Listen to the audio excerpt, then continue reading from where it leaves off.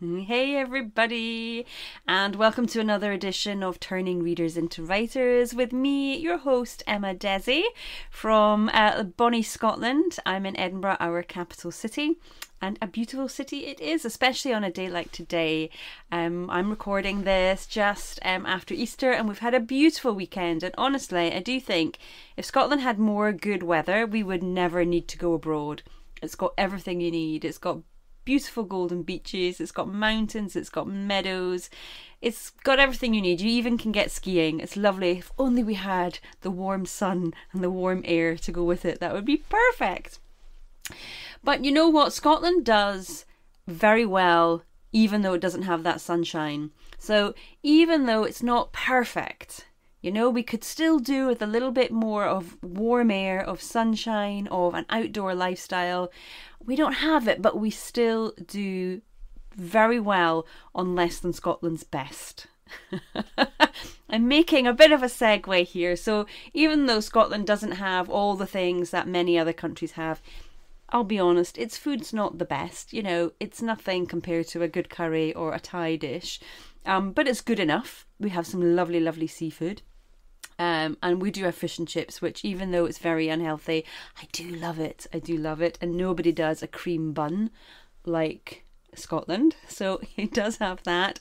But it's not, you know, it's not renowned. It's not world famous for its um its food. We don't have the brightest of days. We when we do have them, they're beautiful, but we don't have a lot of them what I'm trying to say is that Scotland does very, very well with what it has, and it doesn't always have the best of everything, but we still enjoy it, we still appreciate it for all that it's got. You know, the mountains in Scotland are not as high as you will find elsewhere in the world, but they are still beautiful. The snow might not be as fantastic and powdery beautiful as other places, but um, it's still good enough for skiing and having a fun time. Our waters are crystal clear, they're just not very warm, but you can still have a beautiful time in them. And so, where I'm going with this is that you too, as a writer, can do the same. You can do less than your best, but still be good enough. And this is something I want to impress upon people because I know that there is a tendency to expect perfection from ourselves. I hear it time and time again from people who sort of say, you know, oh, that's my perfectionist coming out. Um, I can't let it go. I can't send this to you because my perfectionist side won't let it happen. And I really feel for people when they when they have this. I have to admit, it's not something I suffer with. Perfectionism is not something that is in my DNA. Um, I do find it easier to do um, to do good enough rather than perfectionist work. So I thought this would be an important kind of discussion or something to talk about for those of you who do feel that pressure to be the perfectionist. If you've ever been to Scotland, you will know how beautiful it is. You'll know that there's many wondrous things about Scotland and its people are very, very friendly. But there's lots that's not right as well. But it's still a good holiday. It's still a good place to live. It's still a good place to visit. Your writing has every possibility of being just that, particularly your first drafts that it might not be the most perfect thing, but it's probably still good enough. And that more nine times out of ten, I'd say even ten times out of ten is enough. If you went to any published writer, I doubt there is any book that they've said to themselves, yes, this is it. I've nailed it. I have knocked it out of the park with this one. This book is perfect. Nobody can ever criticize it. I don't think that happens for anybody. Not for um, new writers starting out, not even for people like Stephen King, Val McDermid, Lee Childs, J.K. Rowling, who are the other biggies, Hilary Mantel, for any of those people, they too will also have books where they think, oh, I could have done that better. Oh, if I could go back and do it again, I'd change it this time.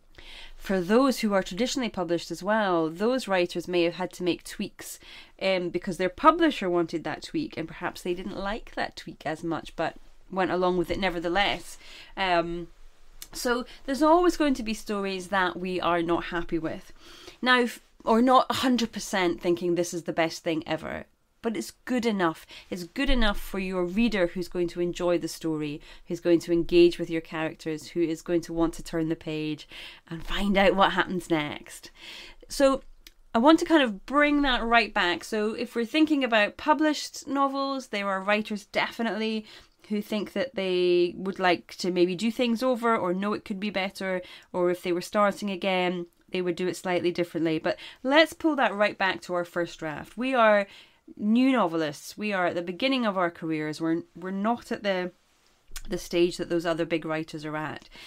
So pull it, pull it back, pull it back, pull it back, right back to that drafting process where you are drafting that first manuscript or second manuscript, and you're feeling very nervous about um, showing it to somebody.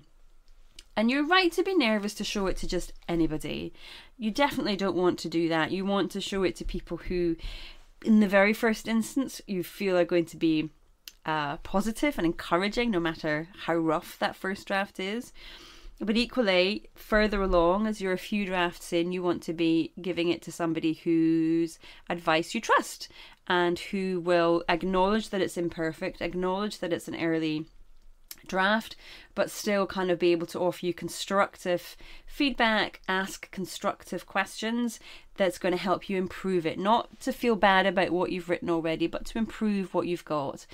Um, we hear this phrase a lot in the writing world you know you can't edit a blank page. So you've got to put down something haven't you? You've got to get something down on that page even if it's just exposition even if it's two pages three pages of dialogue with nothing else in between.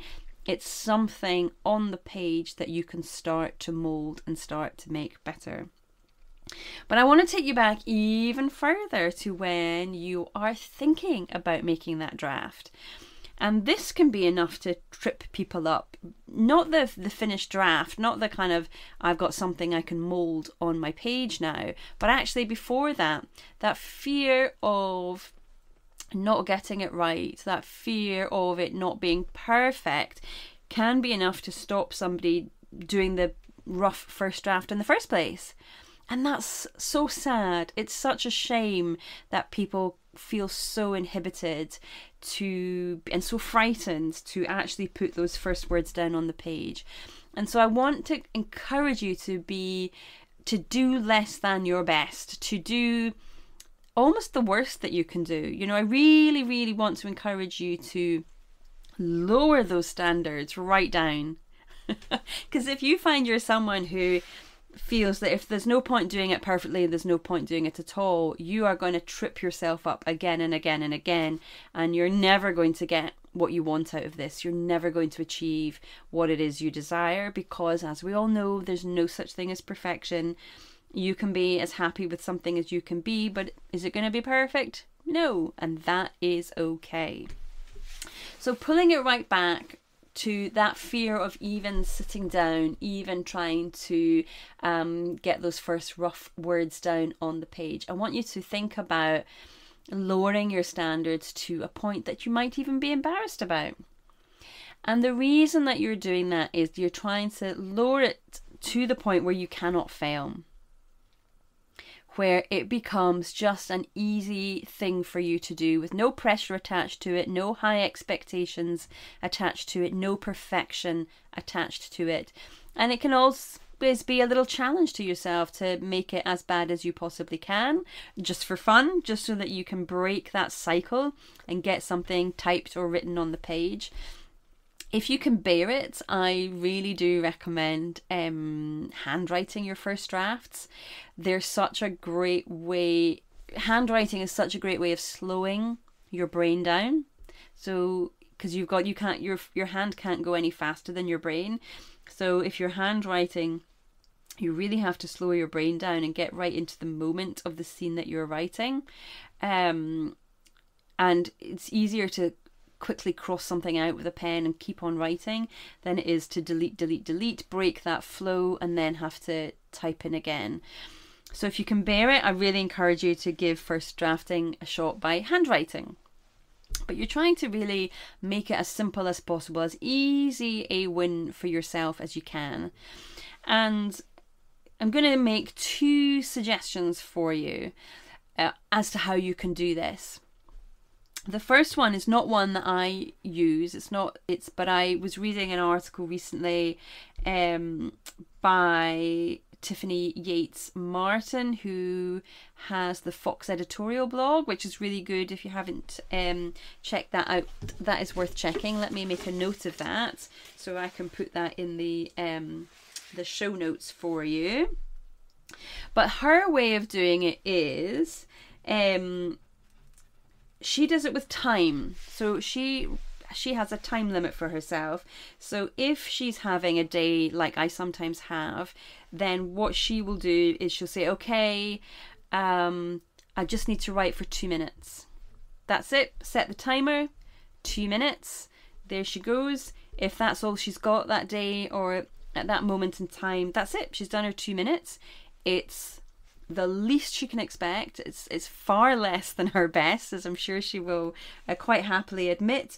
But she's made some progress because she spent two minutes thinking about her book. She spent two minutes jotting down some ideas. She spent two minutes writing down some prose for it. Now, um, she writes non-fiction um, as well as fiction actually. But so if it's you writing your first novel, you know, that two minutes could be spent doing a bit of a character sketch. It could be spent um, just roughing out what a scene might be. It could be um, a conversation between two of your characters. It could be a bit of exposition where a character is going through some inner dialogue and just thinking about what has just happened in the scene.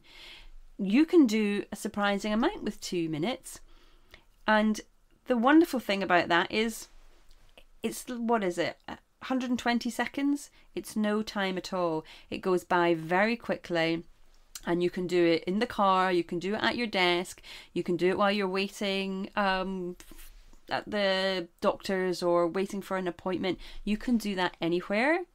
Two minutes, that's all it takes, and you can do it on your phone or you can do it in a notepad if you've got that with you. Super, super easy, and the joy is you've made some progress.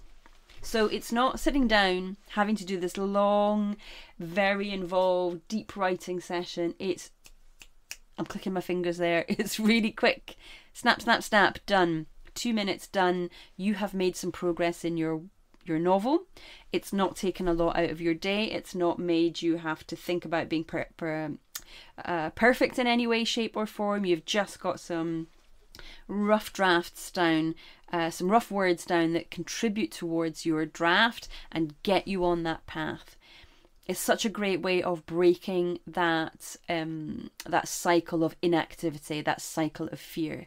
So that's the way that Tiffany does it, and that will work for some of you for sure. Now my way is a bit different. So I I do it in terms of word count. I don't know why. I've always preferred word count than a time a sort of period of time to be working. So if I think about my own experience, my own process of first drafting particularly, um things have changed slightly now because my kids are older and they walk themselves to school now, but previously I would walk the kids to school, drop them off, and then I'd go to a local cafe and I would um, sit at the back of the cafe and ensconce myself there for a couple of hours and write somewhere between 1500 and 2500 words. That was my daily um, aim. And I would say eight, nine times out of ten, that would work. Monday to Friday, I would get myself together, get myself to the cafe, big cup of coffee that would last me for the morning, and um, pen and paper because I write a first draft pen and paper. That's all I need, and boof, it's gone. You know, I can get there and I get into it. I enjoy the cafe atmosphere because it means that I'm with other humans. I'm not all alone. I'm with other people, but I'm not engaged with them in any way. They're strangers to me. I don't know them. So they are kind of milling around. I feel that I'm getting that human contact, but they're not having a conversation with me. They're not interrupting me. I don't feel obliged to talk to them in any way. So it's perfect for me. Um, and nine times out of ten, that will work. And over the course of a number of weeks, I will get a very rough first draft down. I'm a pantser, so I just hitch a ride with my characters and see where they go. Sometimes they take me straight through and it's brilliant, I have no problems. Other times there's a lot of detours and I have to backtrack and uh, there's a lot of work to do on the back end, but it's worth it for the fun of being a discovery writer. But there are those days where things just do not do not go to plan.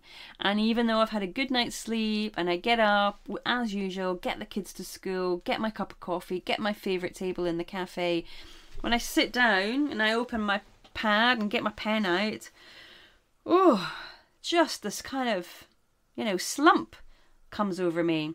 I get what, what I refer to as this wall of resistance that comes up and it sort of it's almost like it sort of levels itself up through the floor and through my body and it says you're not doing this today. It's not happening.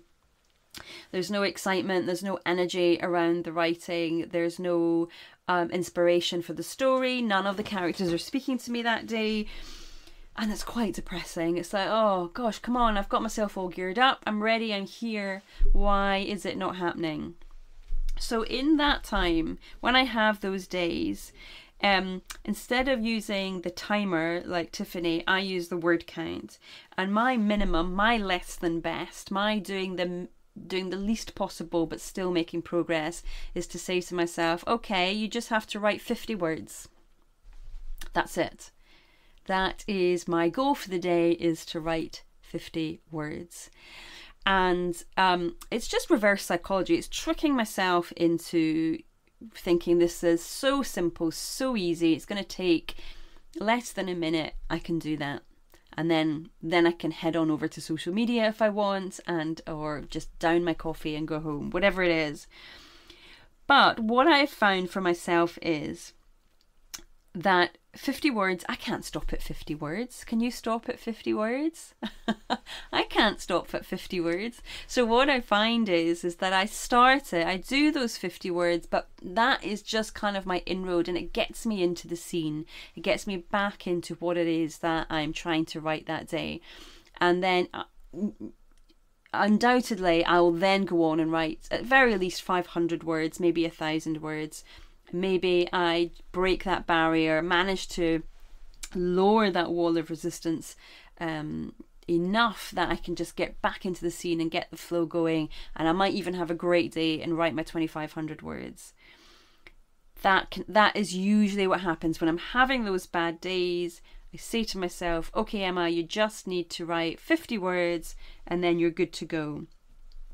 Uh, I'd say 90% of the time that works, I have to write more than 50 words, and I usually get a scene written or half a scene written, certainly, and it's all good. There are those other days, however, there is that 10% where um, it still just doesn't happen. I write those 50 words and then I'm kind of into it and I think, oh, can I do any more? And I might get up to 100 words. But there are those days where that's it. 50 words is all I've got that day. And it's annoying and it's I don't want to say depressing, but it does make me feel a bit down that I haven't managed to do more because, um, you know, I pride myself on my productivity and getting things done. So I feel I've let myself down if I can't do more than the 50 words. But at the same time, I'm totally acknowledging that I've written 50 words.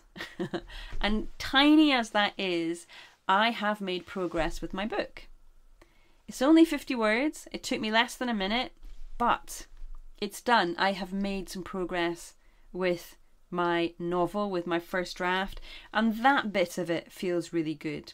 That bit of it is enough to keep me coming back the next day and just putting putting that bad session behind me, coming back the next day fresh and invariably I do come back fresh. Invariably I do get back to my usual self the next day. So I really want to impress upon you that by removing that um, that need to get the very first words perfect, particularly as these are words that nobody else might see, you know, they really are just for you. There's, there's nobody you're trying to impress. It's just you, and you know you. You know that perhaps you do start with um, some bad words, but they get better. Or perhaps you know that you you actually don't write ba- as bad words as you think that you do. And when you come back and reread it the next day or in a couple of days' time, you realize it wasn't as bad as you first thought it was. But anyway, I just wanted to impress upon you the importance of reducing that feeling of being a perfectionist, of it having to be 10 stars right from the get go, straight out the gate. But in actual fact, you just need to get something on paper if you, because you can't edit that blank page. And by really kind of going for the lowest, going for that low hanging fruit, for that lowest denominator, for what is what you would normally consider in your professional work to be substandard is enough for your first draft. It is enough just to get you to break that cycle of inactivity, to break that cycle of of blockage, of you know feeling blocked by it. Um, worth giving a try. I genuinely think this is so so worth trying. So either doing the um doing the time doing the timer so you know using the two minutes and saying okay two minutes go when the alarm goes that's it you're done for the day or your 50 words getting your 50 words down and accepting hey not my best day but i have made progress and that is what counts because that's what it takes to write a novel isn't it? It takes that level of continuity. It takes that level of being determined and accepting that they're just like in your character's story, there's good days and there's bad days. You know, you've got to take two steps forward, you're undoubtedly going to have one step back, but that is your own story arc, the story arc of writing this novel, your very own one. And um, it's got to be acknowledged, it's got to be gone through, it's got to be learnt from and understood. And when you realize that this is a natural part of the writing process, you'll stop, hopefully anyway, stop beating yourself up about it and know that that's just the way it goes. This is part of the process. There are good days and there are bad days, but you've got to um, you've got to show up for yourself. You've got to come in and do that work and help yourself get to the finish line. Because I promise you, I promise you, it's so worth it when you do. And it's almost like the harder it is to get to the finish line, the more worth it it is. Because you've really had to work for it, you've had to strive for it, you've had to dig deep and find bits about yourself that you didn't know you had and um, and that in itself can make it so so worth it um, so yes, yeah, so two minutes or 50 words, which one works for you? Do let me know um, in the comments below, or you can always email me, emma at emmadhesi.com, and let me know which is best for you. So I hope you found this useful. And I have a favour to ask today. Got a really big favour to ask. If you're enjoying the website, the website, if you're enjoying the podcast, if you're finding the the stories that I share or the tips that I share, the recollections that I share, whatever it is in the the podcast, if you find them useful, if they give you the pep talk that you need at times, or they give you a new strategy to try at times, and actually you find it useful and encouraging, then please would you um, go to wherever it is that you get your podcast from, and I'd be ever so grateful if you would um, rate it, and if you have a few minutes to spare to say, a few kind words in the review section because um, I do do this for for new writers. I really want new writers to get their first novel written. It's part of my big mission is to help a thousand writers write their first novel, and if they can find my podcast and they can find what I have to offer and it's of help to them really helps me help them. So if you have time to do that, I'd be ever ever so grateful. All right, that is me for today. Take care, and I will see you soon. Bye.